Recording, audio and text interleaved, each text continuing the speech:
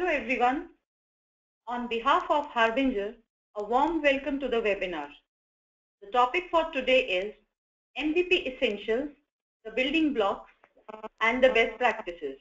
Thanks for joining. My name is Saru and I am your host for today.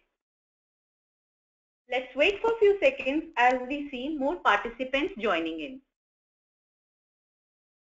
Till then, let's do quick housekeeping checks. If you can hear me clearly, please type yes in the chat box window. Okay, I see a couple of yes. Fine, so we are all ready for the webinar. Today's webinar recording will be available for all the attendees. You can ask the questions anytime in the session using the question tab on the right hand side of the screen. We will be answering the questions at the end. If we don't happen to get time to answer all, we'll make sure that we follow up with you afterwards and also share the webinar Q&A document. Without further ado, I'm delighted to welcome you to the webinar. Our speaker for today is my colleague Prachi Kulkarni. Prachi is a General Manager Technology Solutions at Harbinger. He brings in around 20 years of experience in project delivery, pre-sales, and project uh, proposal engineering roles. Welcome, Prachi. Hi, hello, Saru. Thank you uh, for inviting me here. Hello, everyone. Great. And I'm Saru, your host, and I head the marketing function at Harbinger Systems. So let's get started with the webinar. The goal of a startup is to figure out the right thing, to build the thing that customers want and will pay for as quickly as possible. In the words of Eric Ries, the lead, leading, uh, leading uh, author in the pioneer in the lean startup strategy. We'll run through the agenda first. So we'll start with the strategy behind a minimum viable product creation. We'll move on to the key factors, the techniques in building an MVP. We'll cover the technical as well as the business factors. In the best practices, we'll talk about the industry best practices and then move on to case study showcasing how Harbinger has helped customers build great products in shortest time to market. This will be followed by a special offer for webinar attendees. And then the question and answers. Okay. So Prachi, first things first, uh, we would want to know what, what is a minimum viable product? Okay. So Saru, uh, let me give you an example. There is a nice picture here.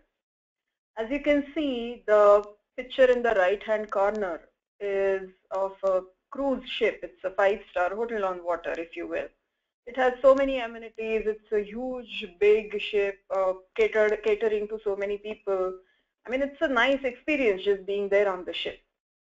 Treat that as my final product. Whereas the left top is a small ship. Uh, that's a promise, so to say, of the big ship. It does not have all the features, but it will tell you that uh, what is there, the plan for the future is something which is very good. Okay. And obviously the basic functionality that is sailing on water is there and the promise of comfort is also there. That's exactly what uh, MVP, a minimum viable product will be there uh, for the final product. I see. Okay? So if you think about a minimum viable product, it can be a product with minimum minimal set of features.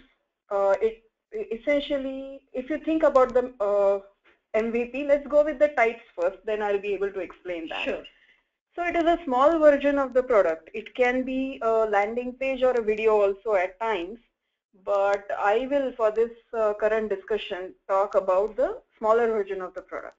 When you think of a small product version, uh, first thing that comes to mind is the features there can be the essential features. So say for example, if you're looking at a portal, then the user registration, the, the uh, access to the features, the typical workflows, the reports are the uh, essential features. but you also need to have the differentiating features. If you think about the ship on the last screen, it sails in the water, yes, that's the essential feature, but the promise of comfort is the differentiating feature. So your minimum viable product should have both these types of features in it. Next thing that you should consider is the target audience. Now, if you're looking at a huge big portal, typically there are multiple types of users that you're going to cater to. For example, if I look at an e-learning portal, it can be for K-12 students, it can be for a district with multiple schools, it can be for a corporate portal, it can be for an enterprise portal. But when you're looking at MVP, you should look at a small subset of audience, target audience, for which you're going to design the MVP. I see. And then the next thing is you should have a feedback mechanism because you want to hear back from the audience as to how your MVP is there, how it is faring. So once you look at all these, the minimum set of features, the target audience and the feedback, you are kind of ready. Those are the basic building blocks of a MVP. Great. So an MVP is a functional product and it's possibly not as lavish as a cruiser. So the question which comes in mind is why do we need an MVP? Why don't we just build a functional full-fledged product and move on? Well, that's an excellent question, in fact, Saru, and uh, Eric Ries has explained it a lot in his Lean Startup. Uh, so MVP came into mind for typically for startups. Please note that it is not limited to startups. It can be for enterprises also. But when I am uh, there with a startup mentality, usually what is there first is the product idea. Now, what I want is a validation of that idea. I know that there are so many other techniques like market research and all for the validation. In fact, a little bit of market research is going to be there even for the MVP. But the best way to get the idea validated is build something for it and showcase it to users. So that is my idea validation. Next comes implementation validation. Okay, I have a very good idea, but maybe the implementation is not that great. I'll give you an example. Uh, supposing the product idea is uh, for a quicker, uh, for application of quick communication between doctors and patients. And uh, the implementation is such that the patient will have to go through multiple screens and click so many times and there are feedbacks and there are uh, you know there are uh, words that you need to type in. That that idea is not going to fly because the basic premise between doctor and patient communication is that it should be quick you know so the validation of idea implementation whether the users are receiving the idea the way you are doing is one need Next, when you look at the startups, all the startups have budget constraints. Okay. So again, going to the example of that ship, if you start building a big, huge cruise ship, it is going to cost you a lot. And right now, you don't know whether users are really looking for that type of cruise ship. So you don't want to put a lot of money, time, effort in that.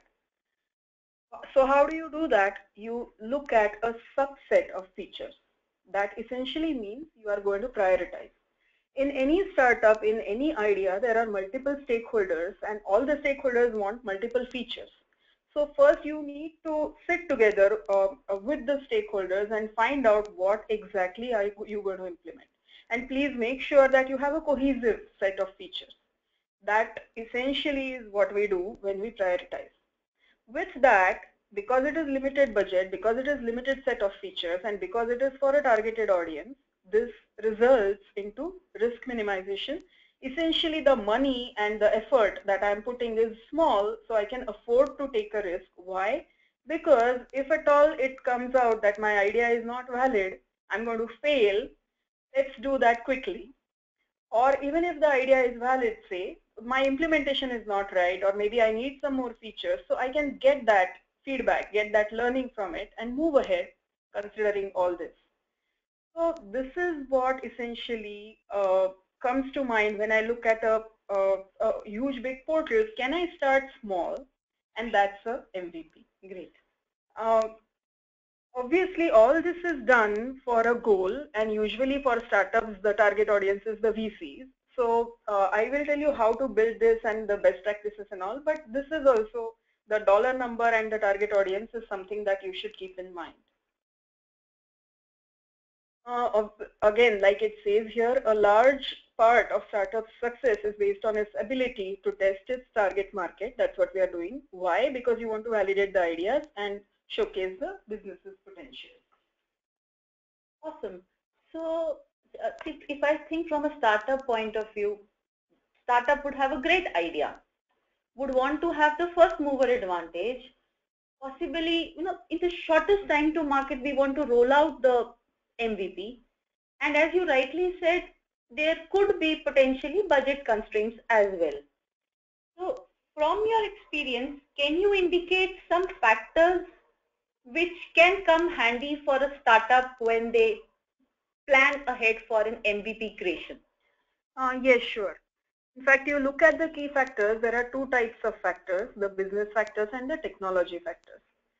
So just uh, let's look at the business factors first. Your MVP, in fact, your product has to be aligned to the market need. Like I said, the market needs to be ready for something. If I give a hypothetical example, there was a time when the wearable devices were not there or the mobile devices were not there. So if I'm looking at something instantaneous there, then probably the idea was not going to fly. Okay.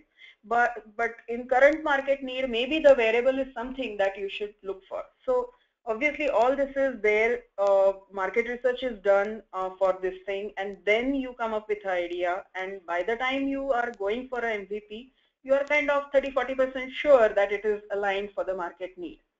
Next thing is uh, target audience mindset. I said that the target audience should be a small subset of the number of users or type of users that you are intending to. But then you should also know, age the mindset of those target users. I'll give you an example. For example, if there is the e-learning portal, many times it happens that the target audience that I am looking at uh, ends up looking at the content instead of the portal. Okay. Right. So if you don't design the portal, if you don't set the expectations right, then the feedback uh, for the target audience that they are going to provide you is not going to be something that you are looking for. So definitely you should have something uh, with the target audience in mind. Next thing will be the review and assessment parameters. Again, going there, if I'm looking for feedback on portal, I should uh, set the expectations that I'm looking for feedback on portal. Again, uh, if, I, if my target audience is say a VC, then the VC uh, people, they're so used to looking at various implementation of ideas, then maybe you are not, uh, it's okay if you have some uh, corners uh, there in your implementation. But if it is a common person, if it is a standard user who's going to implement your idea, then your user experience should be great, your usability should be very great. Otherwise, you're going to end up getting comments on your user experience, which is also very valuable, True. but not so much on your functionality. Okay, and then you should consider the marketing plan because even though it is a MVP, there should be a way, clear way to uh, deploy that or make that available to all those users usually how we do this is we target it for a particular event. Maybe there is a healthcare event or an e-learning event and then you showcase your product considering that event. So uh, all these business factors you should definitely consider but prior to that the most important thing is you should think do you really need an MVP? I see. I will uh, give you an example here. For example, if it is a mobile application, many times it so happens that if it is out there on the store, and if it is a MVP, it is a small scale version of the application, it is something which is not necessarily half-baked but not complete. And then the users who are going to go for that mobile application don't get the proper user experience and your uh, cause will be hampered if you showcase the MVP there. So maybe you don't need it, right? So definitely you should think about whether you need the mobile application, uh, the uh, minimum viable product for your particular need. Sure. Uh, looking at the technological factors, uh, I talked about essential and differentiating features. It definitely has to have differentiating features because otherwise the users are not going to like that. The next thing that you should look at is the feasibility. The market uh, feasibility, uh, we talked about the market research and market need, the implementation feasibility. For example, there are some ideas. Uh, usually I see clients who want uh, mobile applications on iOS as well as Android. But as you know, Apple is very selective. You know, there are certain things that don't work on iOS, and they maybe they work on jailbroken devices, but we don't want that. We are not going to cater to that. So the implementation feasibility or the design feasibility is something that you should definitely look at when you're looking at a MVP. And you should not uh, promise or build your product on something which is maybe going to be releasing in next year. Okay. I see. So that's something. And then the implementation platform. Uh, since it is startups, we are usually dealing with open source and even for MVP, the platform can be open source. The cloud provider can be the minimum thing. Uh, the uh, CMSs or LMSs that you are going to use are going to be open source. However, if your final product is going to be say on .NET, then I would recommend that you build your MVP also on .NET. It is a bad idea to build MVP on something else and then building the final product on something else. Okay. And then uh, uh, I talked about the attractive user interface and user experience because obviously for the common man, but even for very professional and experienced users, we go first by how it looks. Look at the Japanese food. It looks good and then we go for the taste, you know. Very right. So similarly, uh, the attractive UI and attractive user experience is a must in anything, okay?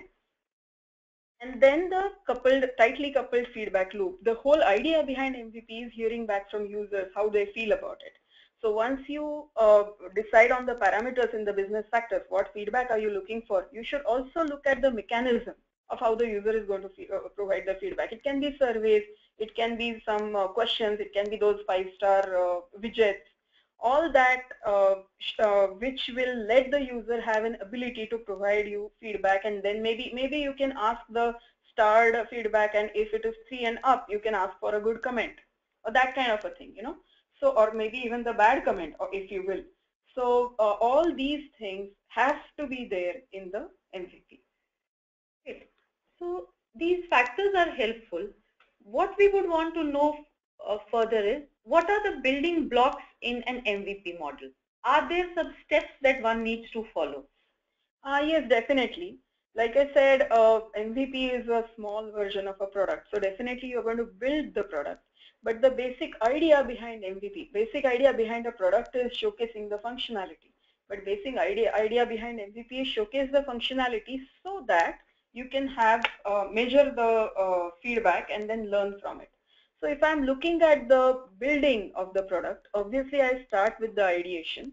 Again, uh, similar to product, MVP has to have market research. I talked about it a lot. You need to have the audience and then set launch objectives. Launch objectives are again the feedback parameters for which I'm going to look at. Maybe it is a price parameter, maybe it is the functionality parameter, maybe it is anything, right? So you should set those objectives you should define the features that we talked about a lot. We should define the user experience uh, in cognizant uh, with the target audience mindset and deployment. Let me talk a bit about the deployment. If you're going for a iOS, then iOS does not let you uh, share private builds. It has to have, uh, the application has to be there out on the store.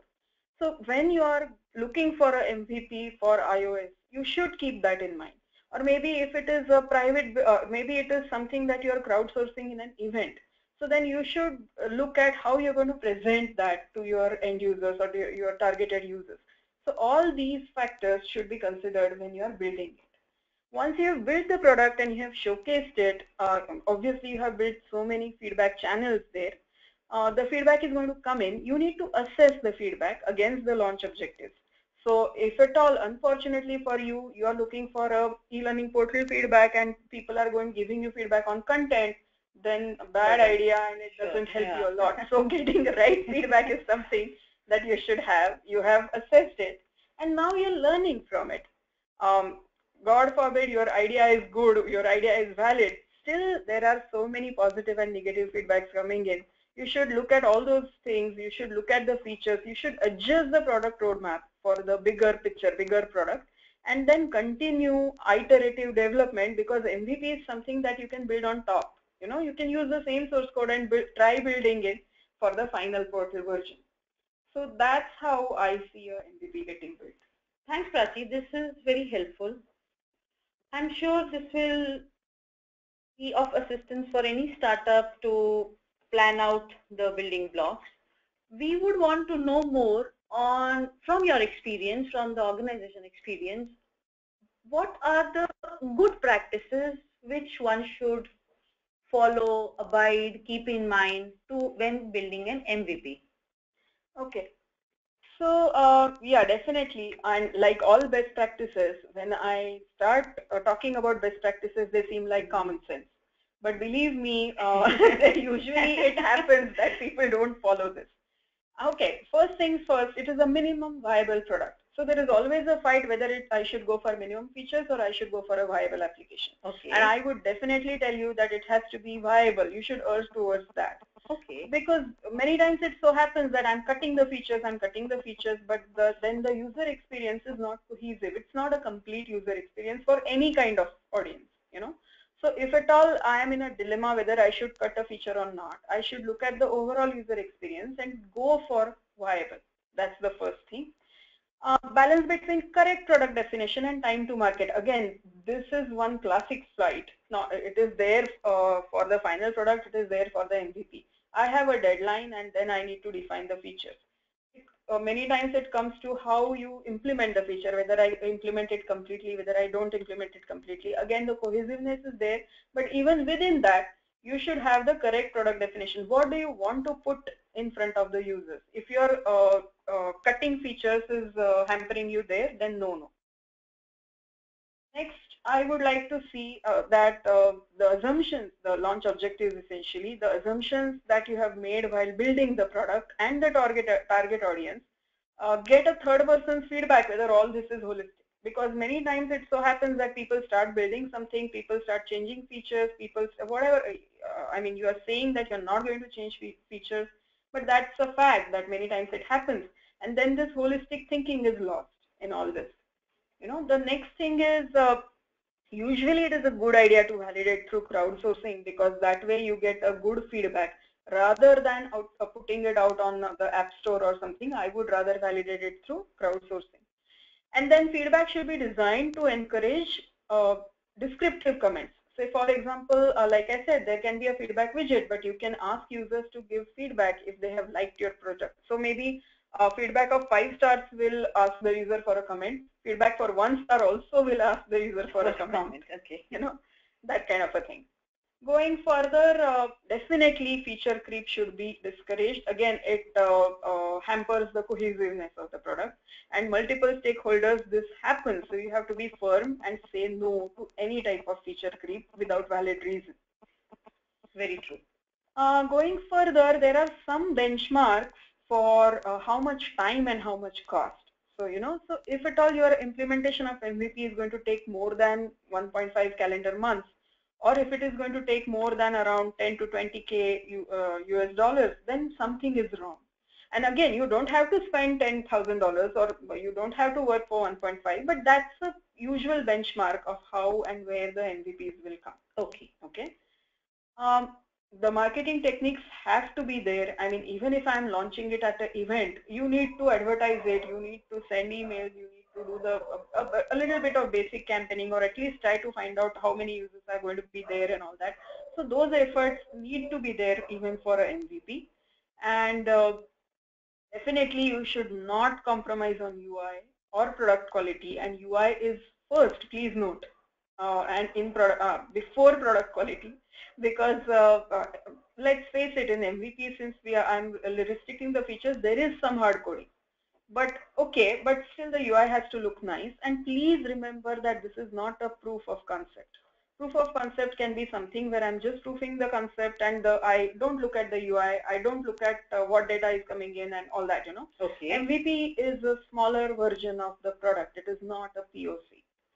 And then uh, going ahead, MVP has to be agile because I'm going to build on top of that MVP and uh, the agility and uh, the overall product or, the uh, building map of this MVP has to has to have that agile factor in it.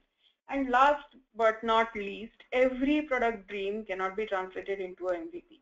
For example, if you have a product uh, which is going to work in, say, uh, operation theater for a hospital, you're not going to be able to build an MVP for that. So please note the way every dream cannot be a product, every product dream cannot be an MVP. I see. Okay. So now the, uh, the question which comes to mind is that how is an MVP different from a functional full-fledged product? So uh, if I want to first, like I like it is written here, it needs to be a promise of the final product. But if I want to look at how uh, a product is different or how I make a MVP into a product, my MVP was essential plus differentiating features. Now in my product, there are going to be nice to have features. Okay. Obviously, the overall feature set is going to be uh, more, much more than the MVP. But in MVP, I usually do not have nice to have features. Here, it will be nice to have features as well. Uh, barring certain products who are uh, meant for security uh, type of domains, in all other MVPs, we don't look a lot at security and performance. However, in my final product, these two considerations are a must. Even uh, the deployment, the hardware, hardware configuration should be such that it is considering the user load. It is definitely considering the sensitive data and all that, and all these considerations are a must. The uh, marketing efforts need to be much more higher. The branding and the uh, all such considerations have to be there. In addition, there are certain additional features which I use in a product to kind of make it popular. Maybe it is giving something free, maybe it is something like a coupon, maybe all such features which are not there in the MVP show up in the final product. And obviously a product is not going to be, it is not going to be the end when you get the first version out. There has to be a further roadmap, future roadmap, uh, where I'm uh, looking at a final product. This is awesome. So we talked about, we covered the building blocks. We talked about the best practices, the feature creep, implementation time window. We touched upon the cost factor. We also looked at the approximate timelines and what all would it take and also having an insight on the marketing trends and the techniques. From your experience, could you throw some light on how Harbinger has built great MVPs for startups? Yeah, definitely. In fact, we have had quite a few uh, uh, interesting case studies. In fact, I talked about this wearable device case study a while back.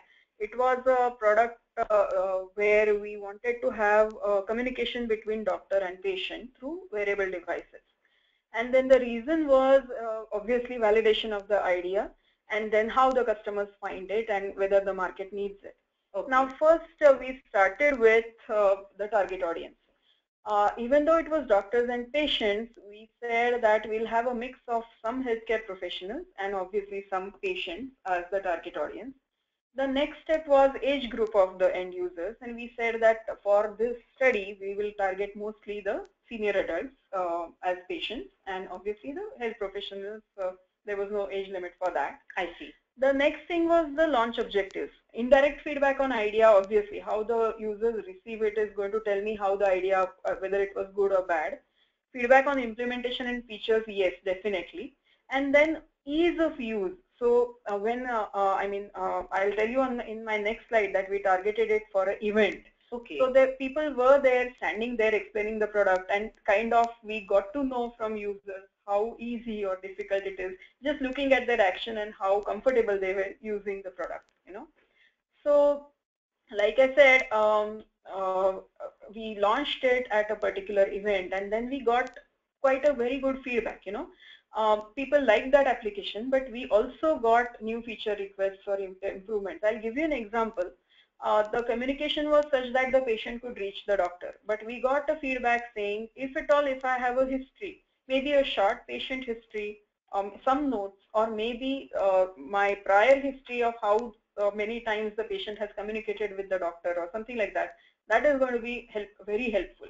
I know there are quite a few restrictions on giving the exact patient history and there are consents and all those security requirements, but still some smaller version would make it very good and uh, uh the client uh, really appreciated this feedback. Interesting. The next thing that we got was this was designed for a certain type of communication, but we were told that uh, especially in the urgent care or emergency scenarios, this is going to be very useful. And the senior citizens were uh, ready to point this out that, yeah, I'm uh, always worried how I'm going to reach the treatment, even though it says urgent care. So your application is going to help me a lot because the doctor is going to be ready for me by the time I go, you know. So uh, in addition to all this, we got a feedback on how many uh, uh, users use the wearable devices, which devices they prefer. That also told me about the technology choice, whether I'm go uh, going with the right type of technology, targeting right devices, and obviously all in all, a very successful MVP. Great. So this looks amazing. A powerful wearable and for a healthcare client. Great. Can you share with us one more example of a different case, different domain, and how did Harbinger go ahead and create an MVP? Yeah, definitely. In fact, uh, this one is for a non-ISV type of domain, and uh, this was for targeting uh, marketing services for specific users. So the idea was uh, they had an existing system for which mm. they are targeting, uh, the typical services were targeted for uh, a particular set of users. And then the users were, the user data was coming out of a third party portal service. Okay. So what they had, uh, the manual existing manual service was uh, they used to massage the data and then uh, target uh, particular services, the campaigns or, and all that for those particular users. The clients need, I mean, uh, do we need the service? Yes, that service was essential because that was proven. Only thing is it was manual. Now the client wanted to know how to simplify that and how to automate that. And uh, before he put in any money, in simplifying and automation, whether it is going to um, uh, help him in reaching more users and all that, you know. So, I mean, uh, usually it is if you go from manual to automate, obviously uh, it is going to save time and it is going to reach the users, yes. But if he is going to put so much money, cost against the results is what is something that he wanted to validate. So, definitely as part of MVC, MVP process, we looked at the existing manual system we uh, and then uh, we came to know that there are multiple stakeholders there. There are multiple portals. Uh, data, the data was sent for messaging to multiple entities, and then the uh, audience was people asking for services. Yes, but audience was also people who were kind of uh, helping in massaging the data. You know. So we decided uh, that definitely we need the idea, feedback on the idea and potential of improving user reach and all but uh, to look at how uh, the various stakeholders are appreciating the application uh, uh automation of the services, what we decided was rather than uh, converting the entire process, we'll convert a part of that process into automation.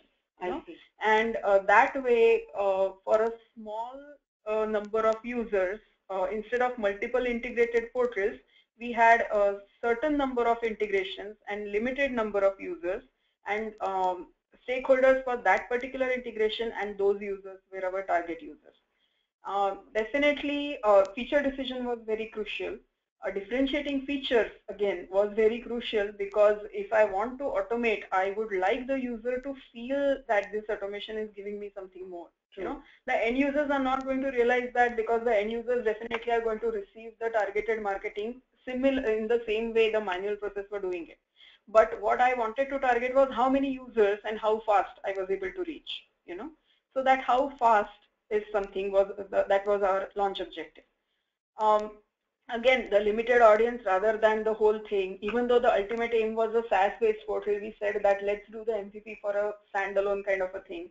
So all such decisions, uh, we uh, sat with the client, we made all this, and I know I have told you that uh, MVP should be a promise of the product, and finally, if I I'm looking at the SaaS-based version, that was his dream. My standalone MVP was not exactly a promise of the product. But then the main aim behind this was uh, validating whether the automation is going to help me or not. And then if it helps, then he was going to go for the SaaS.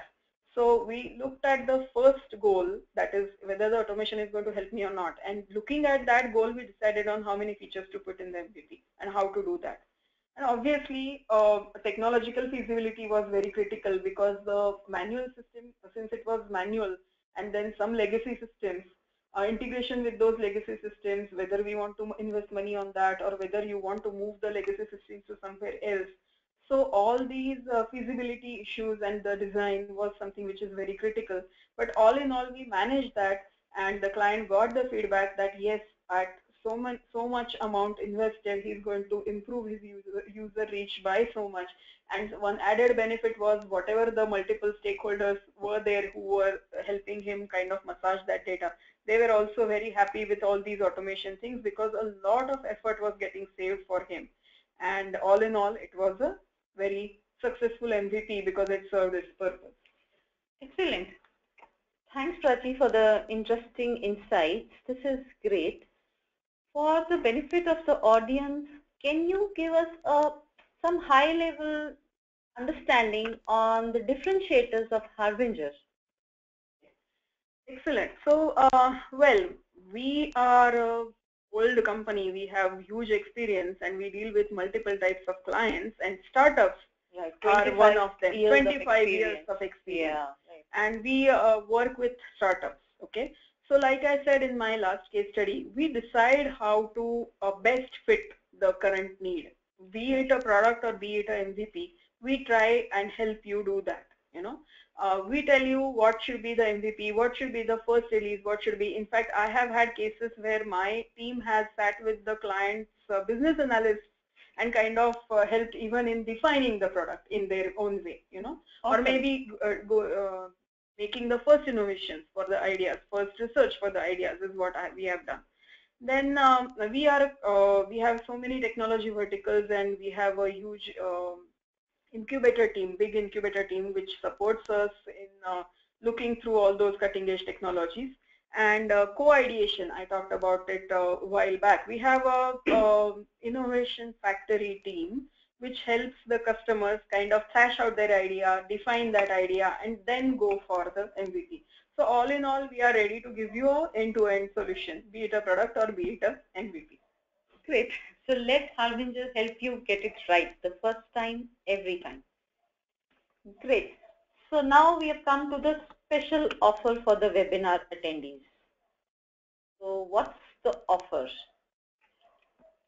We would offer two hours of free consultation from our product engineering experts to all the attendees who have invested time in the webinar today. Please come forward and discuss your MVP idea today. You can reach us at hsinfo at the rate harbingergroup.com to avail this exciting opportunity.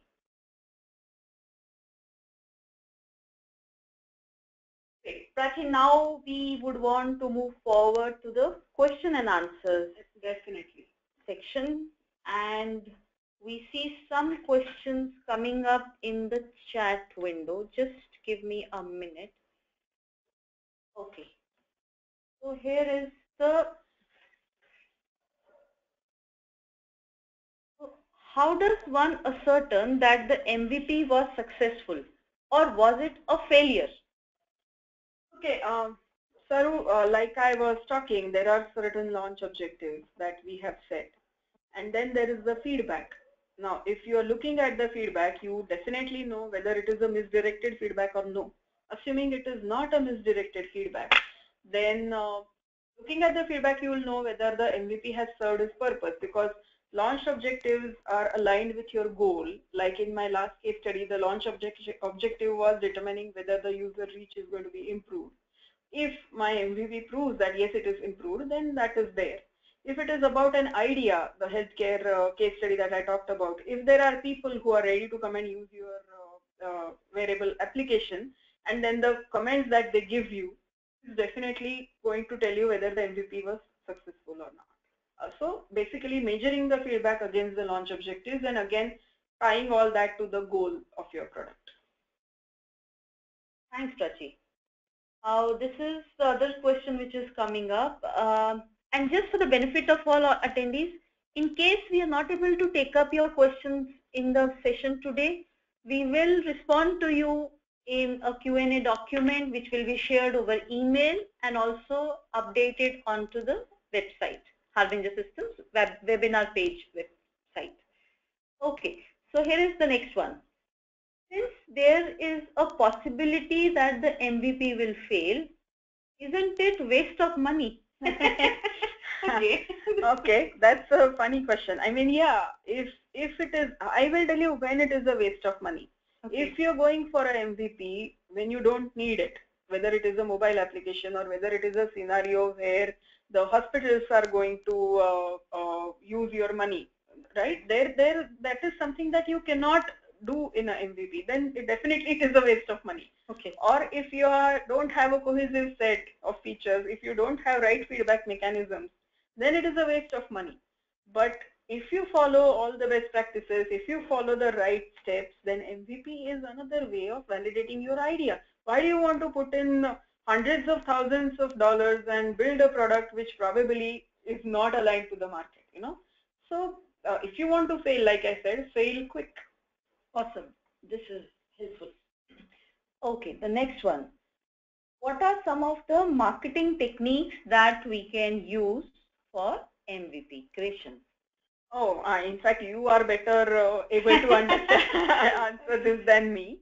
But uh, in my experience, like I said, you should announce whether you are uh, targeting it for an event. You should kind of identify the target users and set right expectations. Send them emails and then maybe if it is an event, then make somebody stand there and explain the product. You know, uh, even if there is a feedback uh, coming in, you should uh, answer to that feedback. You should uh, look at the user. You should kind of make him feel welcome to use uh, your feedback, uh, use your product and give you feedback. All these things, maybe it is not exactly the marketing effort, but that those are the things that I would recommend uh, for a MVP, definitely. Very right, Prachi. Thanks. Now here is the next one. Possibly we can take one or two more questions. So the next one is, can you have more than one MVPs? Uh, well, that way theoretically you can have as many MVPs. But uh, I would recommend that if it is a startup, an idea, one MVP is what you're looking at. If you, I mean, if, if that MVP fails and if you're going for a different idea, then maybe you have a different MVP. Or okay. if it is a huge enterprise and if you are looking at, so MVP is basically when you are doing something new, want to start with a small version of it and see how people like it. So how many times you're going to do that? Usually it is one. Yes, very maximum two if the idea completely fails. True. You know. Great. And uh, last one which we can take up today is how can you see if your product is minimal? Okay, so um, like I said, or for minimal, but how can you see for a product is minimal? This is the other way of looking at the features. If you can survive without having a certain feature in your product, if you can cut a certain feature okay without affecting the overall user experience and if you if that feature is still there in your definition then your product is not minimal right so the right way of looking at it is is my product complete can i uh, get away not doing certain features okay do i have all my essential features and uh, do I have a right differentiator? If all these answers are yes, yes, yes, and then there are uh, there are no features which can be removed from your product, you, no no superfluous features, then your product is minimal. Okay, this is an excellent thumb rule actually.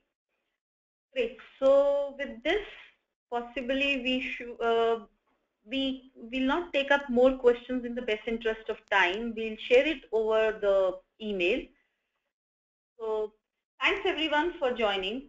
Today's webinar is being recorded. Thank you, Prachi. And everyone will receive an email with the link to view the recording of the webinar and yes, along with the Q&A document. Thanks, Saru. Once again, thank you everyone for joining us and have a great day ahead. With this, we, we can conclude the webinar today.